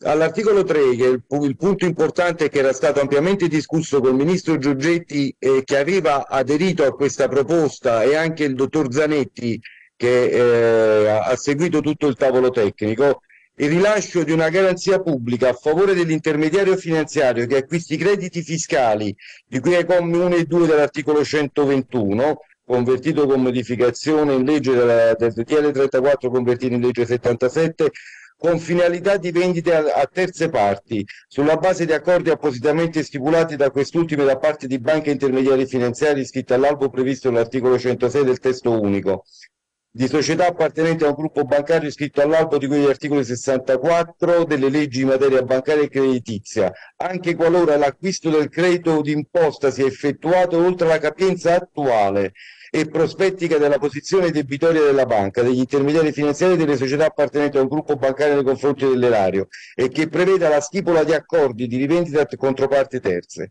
Conseguentemente, in coerenza con le disposizioni della Banca d'Italia in merito al trattamento prudenziale dei crediti d'imposta di cui al decreto 19 maggio del 2020, le esposizioni rinvenienti dall'acquisto di tali crediti d'imposta sono assimilabili alle esposizioni verso amministrazioni centrali e banche centrali e nell'ambito del merito standardizzato le banche e gli intermediari finanziari e le società appartenenti a un gruppo bancario applicano alle suddette esposizioni un fattore di ponderazione per il rischio dallo 0%. È inutile continuare a chiedere, eh, tanto è scritto, l'acquisto delle, mm, eh, da parte delle partecipate pubbliche eh, del, um, da parte dei, dei, crediti fiscali, ciò che chiediamo eh, esplicitamente la modifica dell'articolo 321, quello che modifica il sequestro penale dei crediti fiscali in mani a cessionari che nulla hanno a che vedere dopo aver eseguito la diligenza professionale, la fissazione di un tasso di sconto dei crediti fiscali da parte delle banche mediante una norma di legge che impedisca la scellerata eh, eh, continua eh, esasperazione da parte di taluni soggetti che in questo momento si stanno, stanno acquistando crediti fiscali a dei tassi che va oltre quello consentito dal 644 del codice penale, il, la distribuzione del credito d'imposta negli anni. Per evitare che le casse dello Stato soffrano ulteriormente, quindi a sostegno dello Stato, di trasformare i crediti quadriennali di fatto in crediti quinquennali, in modo da appesantire meno la, la, compensazione per le casse dello Stato e di consentire ai possessori di crediti fiscali, al di là del timing in cui sono stati creati i crediti fiscali, la possibilità di spostare fino a dieci anni la compensazione dei propri crediti. Il diritto al frazionamento del credito è una proposta di legge che è stata presentata dall'onorevole De Bertoldi nella diciottesima legislatura e il miglioramento soprattutto della, della possibilità della piattaforma di interscambio dell'Agenzia delle Entrate in modo tale che i documenti previsti dal DL 11 poi convertito in legge numero 38 siano caricati direttamente sul portale dell'Agenzia delle Entrate affinché l'Agenzia mediante un meccanismo di controllo, rilasci un credito certificato certo ed esigibile, in modo tale che non ci siano assolutamente contestazioni successive. Come federazione stiamo lavorando a un progetto da sottoporvi, che vi sottoporremo in, in altre occasioni, in un'altra occasione possibilmente, per evitare questa miriade di contenziosi generati a seguito della sospensione del blocco delle cessioni dei crediti che hanno comportato la sospensione dei lavori, per legittimare quello che è il legittimo affidamento dello Stato ed impedire che si perda quella che è la fiducia dei cittadini nei confronti dello Stato. Grazie Presidente. Grazie. Chiedo se ci sono ulteriori interventi. Non mi pare. Ringrazio allora anche il dottor Passarella, grazie mille per la vostra partecipazione. Grazie a voi.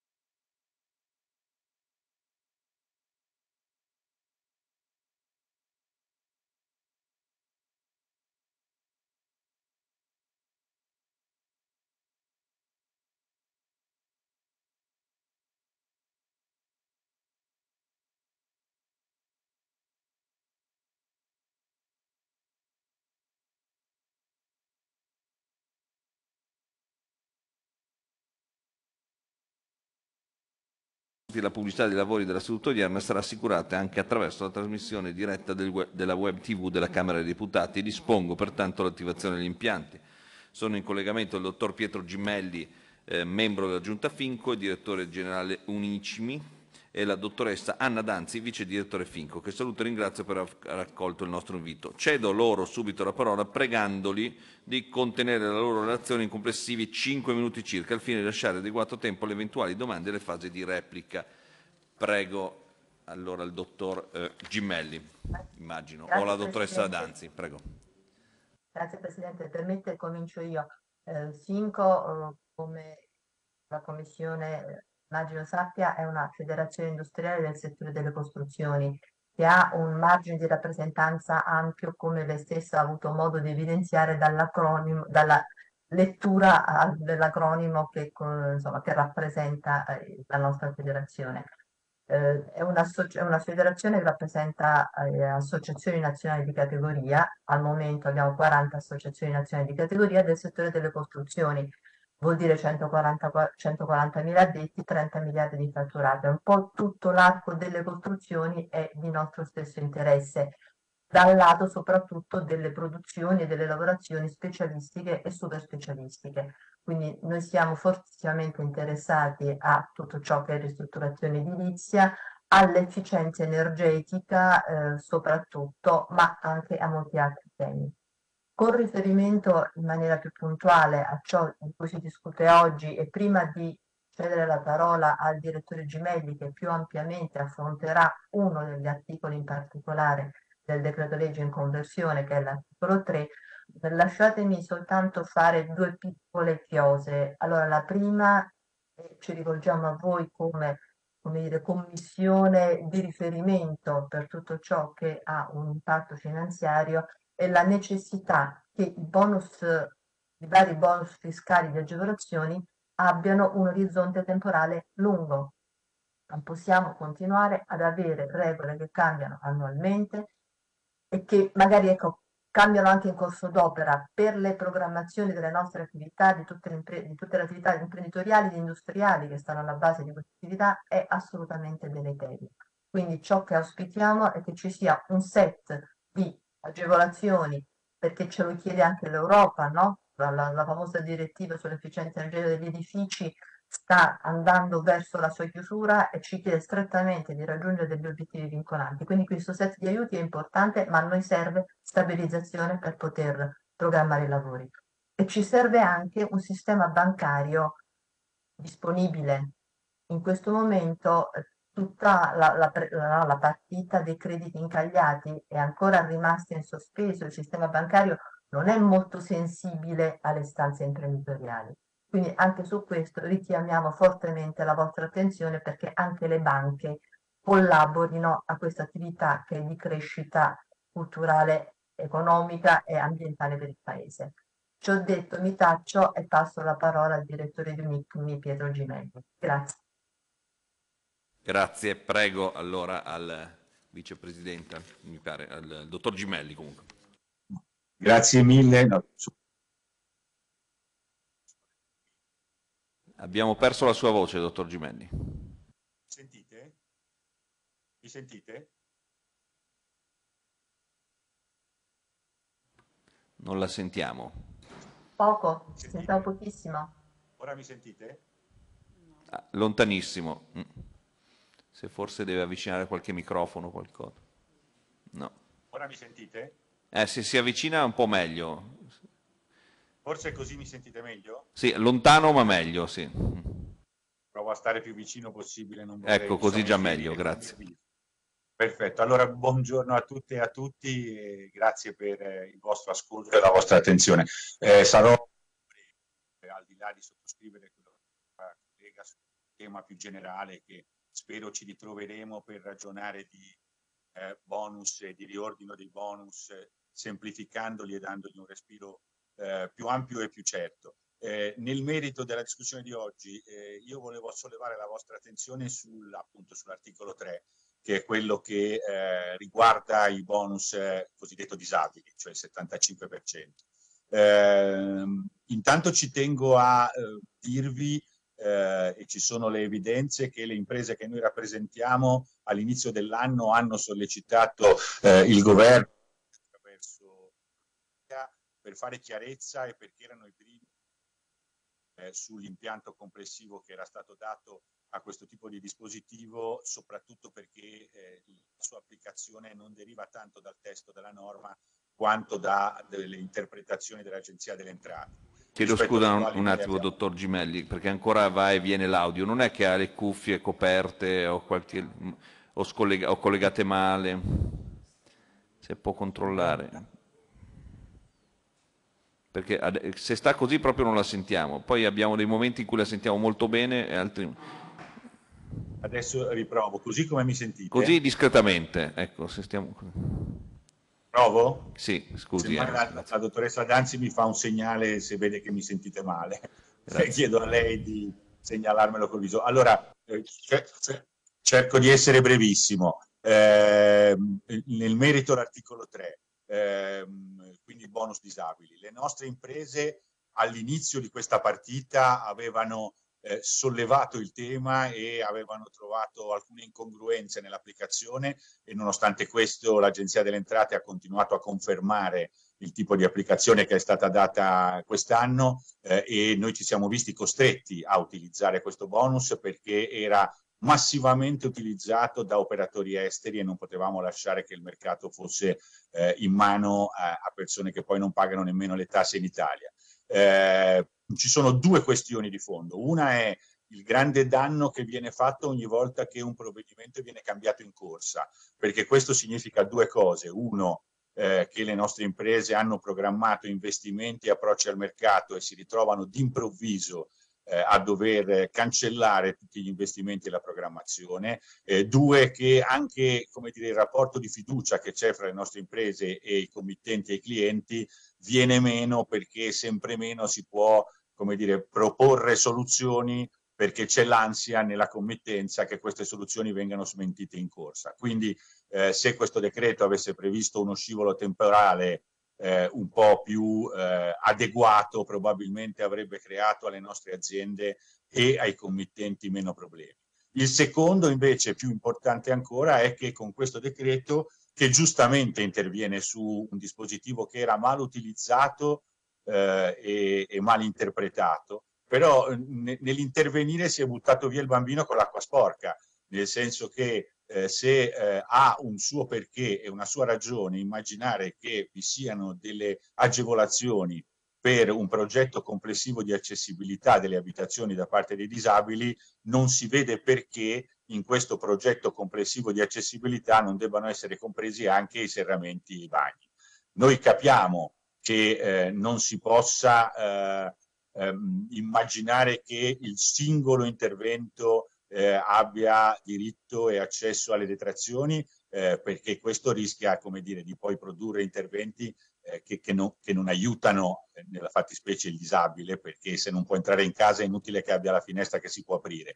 Capiamo meno perché nell'intervenire un po' a colpi di accetta eh, non si sia collegato la possibilità di questi interventi alla presenza di un progetto complessivo di accessibilità asseverato. Se si predispone uno scivolo per far entrare la persona disabile, se si ri, ri, eh, ripensano e rifanno le porte in modo che tutti gli ambienti siano accessibili, eh, non si capisce perché a quel punto non possano anche aprire la finestra o andare in bagno. E quindi la nostra richiesta sarebbe quella, come dire, di immaginare uno scivolo temporale diverso, ma è sicuramente quella di chiedervi di ripensare al fatto che dentro un quadro di progetto complessivo di accessibilità non si capisce perché i prodotti come i bagni debbano essere esclusi eh, di fatto togliendo come dire, la possibilità a chi vuole attrezzare la propria casa per, una, per un accesso libero per le, persone, per le persone disabili non, non debba poterlo fare nella sua competenza.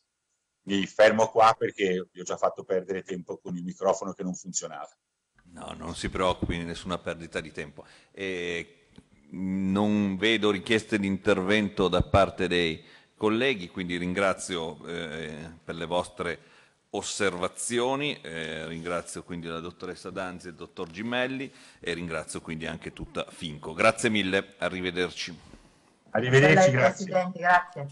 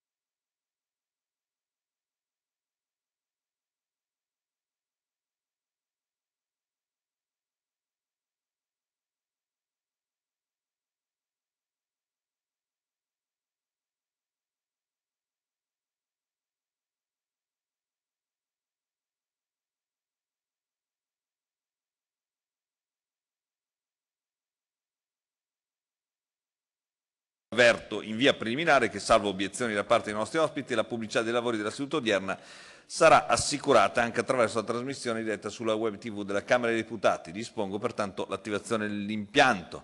È in collegamento la dottoressa Federica Brancaccio, Presidente dell'Associazione Nazionale dei Costruttori Edili, che salutiamo e ringraziamo per aver accolto il nostro invito e le cedo subito la parola pregandola di contenere la sua relazione di complessivi 5 minuti circa alla fine lasciare adeguato tempo le eventuali domande della fase di replica. Grazie Presidente, prego, a lei la parola. Buongiorno, grazie di questa, di questa occasione, di questa opportunità. Allora, oggi il motivo di questa audizione è alcune riflessioni sul decreto legge 212 del 2023 che interviene sulla disciplina del super bonus. Eh, come ANCE avevamo fortemente richiesto un provvedimento che potesse in qualche modo permettere a chi era in uno stadio avanzato di lavorazioni di poter chiudere e ultimare i lavori con una piccola proroga di due o tre mesi proprio per chiudere la stagione del super bonus in maniera ordinata. La soluzione, approfitto anche per, per ringraziare eh, chi diciamo, ha sostenuto comunque, molti parlamentari hanno sostenuto questa posizione, ma la soluzione individuata dal governo purtroppo non ci sembra andare in questa direzione. Ovviamente adesso motiverò il, il perché. Eh, la nostra richiesta um, conteneva due eh, obiettivi. Uno, per chi non riusciva magari a terminare la possibilità di poter contabilizzare quanto prodotto al 31 dicembre 2023 indipendentemente dalla norma che dice che io posso fare solo due stati di avanzamento, quindi due fatture, oltre a quella finale, e poi in aggiunta anche una breve, una breve proroga. La soluzione che eh, il governo ha ritenuto di adottare invece prevede una sorta di sanatoria diffusa anche per chi non completa i lavori e quindi non raggiunge quell'obiettivo di efficientamento energetico per il quale è stato fatto uno sforzo del Paese in termini proprio di, ehm, di, di contributo economico dato e quindi questa sanatoria generalizzata eh, noi non, non, ci può trovare d'accordo perché in generale qualsiasi cosa che riguardi sanatorie o condoni non ci trova d'accordo. Chiaramente è quella generalizzata sulla quale non siamo d'accordo perché ci rendiamo conto anche che esistono delle situazioni precise, specifiche di cosiddetti incolpevoli, magari dove non c'è stata alcuna volontà, però il rischio che qualcuno possa aver approfittato di queste misure esiste e ci preoccupa. Altro provvedimento, eh, altra cosa contenuta in questo provvedimento è la possibilità per le famiglie a basso reddito, quindi con un ISE entro i 15.000 euro, di ehm, vedere mantenere inalterata la possibilità attraverso un contributo eh, pubblico per la differenza tra il 70, il 100 e il 110%. Purtroppo, al di là della mh, poca capienza del fondo che è circa 16 milioni e mezzo di euro, quindi andrebbe a impattare su uno 0, ecco, dei condomini ancora in corso, anche la eh, complessità dell'attuazione di questo eh, ci vede preoccupati perché dovrebbero anticipare queste somme per poi accedere al fondo. E tra l'altro non sarà molto facile all'interno di un condominio con situazioni diverse riuscire a trovare la soluzione. Quindi la nostra, eh, la nostra preoccupazione permane nel vedere incompiuti questi lavori, quindi non raggiunto l'obiettivo, avere molti contenziosi tra famiglie, condomini e imprese e ehm, inoltre vedere anche degli scheletri, appunto come dicevo, e cantieri incompiuti eh, per, per le nostre città. Per cui stiamo ancora a chiedere nella fase di conversione la possibilità di una breve proroga per terminare quei lavori che sono oltre il 60% o almeno la possibilità dell'emissione di un ulteriore stato d'avanzamento lavori straordinari al 29 febbraio 2024, sempre con l'aliquota del 110. Questo potrebbe consentire di eh, salvare e terminare i lavori. Noi abbiamo stimato in circa 40.000 cantieri ancora aperti, stimiamo di poterne salvare attraverso queste, queste misure in fase di eh, conversione del decreto, di salvarne circa 25.000 per più di 200.000 famiglie. L'altra questione invece, visto che ho cinque minuti, cerco di stringere, eh, riguarda le situazioni dei piani di recupero all'interno delle zone, delle zone sismiche. Qui eh, la legge prevedeva praticamente che eh, bastava la delibera del Consiglio Comunale per poter usufruire ancora dello sconto in fattura della cessione del credito. Eh, in questo caso che cosa ne chiediamo? Perché davvero si rischia di invece vedere un, un lungo lavoro fatto sia dalle imprese che dalle amministrazioni eh, che, che, non vada a buon fine. Quindi noi qui chiediamo che mh, non ci sia il titolo edilizio così come previsto nel, nel decreto, ma eh, in alternativa a questo la stipula per esempio della convenzione urbanistica o tornare alla prima proposta laddove appunto bastava la delibera del Consiglio Comunale, quindi l'approvazione del piano di recupero. L'ultimo eh, argomento è le modifiche intervenute al bonus sulle barriere architettoniche. Ora mh, noi abbiamo sempre ritenuto e siamo sicuri che sia così e che la razza di questi incentivi era creare delle condizioni generalizzate di, eh, di accessibilità e di aiuto a eh, situazioni di, di, handicap. Non siamo, eh, come devo dire, contrari ovviamente a una stretta e a un rigore eh, su questi incentivi che ci rendiamo conto sono stati a volte usati in maniera un po' troppo superficiale, però forse più che intervenire sulla misura perché eh, non è che solo dove c'è già un invalido o un disabile eh, bisogna agevolare queste cose, ma in realtà bisognerebbe far sì che ci sia un accesso facilitato dappertutto. Quindi noi più chiediamo forse più controlli, ma lasciare aperta la possibilità di continuare per tutti in tutte le situazioni a usufruire di questi incentivi. Eh, c'era qualche altra cosa, vabbè, questo della copertura assicurativa, ma su quello diciamo non abbiamo eh, molto da, da chiedere. Scusate, ho cercato di essere veramente il più sintetico possibile, non so se ho saltato qualcosa, chiedo ai miei e adesso sono a disposizione se ci dovessero essere delle domande. Io non vi vedo. Perché... Grazie però. Presidente, non ci vede? No, no, è buio, ma va bene. No, adesso, adesso mi vedo. Ah, grazie, grazie. Grazie Presidente, no, no, è stata molto esauriente. C'è l'onorevole Fenu che le vuole porre una domanda. Prego onorevole Fenu. Sì, sarò velocissimo Presidente, grazie. Grazie alla Presidente Brancaccio e ad Ance. Eh, solo una domanda proprio su una proposta emendativa che ha, ha spiegato anche adesso la Presidente. Eh, non vi sembra poco eh, due mesi per terminare i lavori in corso, visto che si ripresenterà lo stesso problema che insomma, eh, le imprese e il materiale insomma, potrebbero essere insufficienti per terminare in così poco tempo tutti questi cantieri aperti di cui ha parlato lei. Eh, raccogliamo Prego. le domande o rispondo? Vediamo se ci sono altri interventi, ma non mi pare, quindi le darei la parola, Presidente. Prego. Allora, ehm, sono circa 4 miliardi quelli che abbiamo stimato residuano eh, nel 2024 per quei cantieri che hanno già effettuato un secondo stato ad avanzamento lavori, quindi sono oltre il 60%. Ora noi abbiamo sempre cercato di avere una posizione seria e responsabile e non abbiamo mai ritenuto che questa proroga, questo salto straordinario potessero risolvere il problema di chi si era fermato a un 30% o addirittura ancora eh, a niente. Quindi riteniamo che gran parte di questi cantieri, guardi, per la maggior parte, per la nostra esperienza, manca per esempio il montaggio degli infissi perché è una di quelle forniture che ha subito ritardi o delle caldaie e questi cantieri sicuramente eh, possono in due o tre mesi essere terminati e ultimati.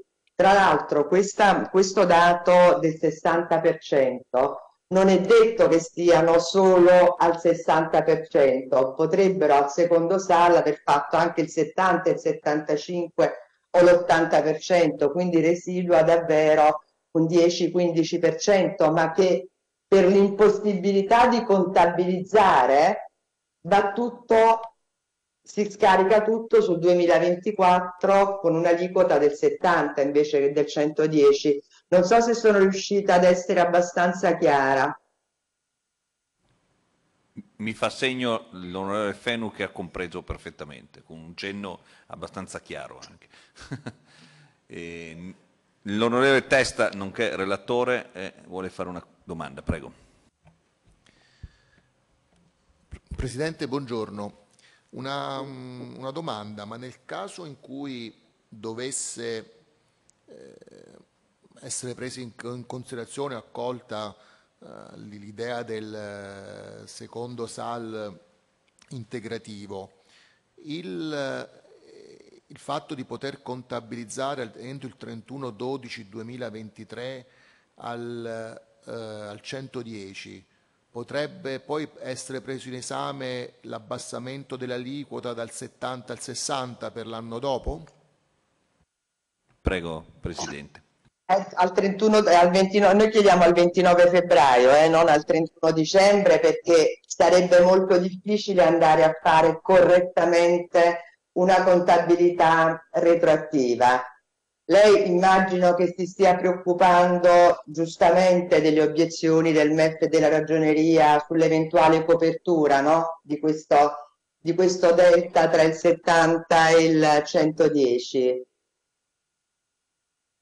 Non posso Prego. dire, sì, sì, eh, sì, non, posso, non, ovviamente non posso dire di sì, cioè sorrido perché non, dovrei andare a valutare il, il male minore o il bene, il bene migliore, però siamo anche sempre stati consapevoli che un problema di conti eh, e di copertura esiste. Come dicevo prima, abbiamo sempre cercato di essere responsabili, era il motivo per il quale noi dicevamo fate sì che al 31 dicembre ci possa essere una contabilizzazione straordinaria perché scarichiamo più sul 2023 dove non abbiamo il problema del patto di stabilità, comunque insomma eh, già si era portato a deficit un certo, un certo importo. Comunque è chiaro che se eh, si dovesse essere una copertura, una necessità di copertura per quest'ulteriore delta una soluzione va trovata, questa potrebbe essere una delle soluzioni,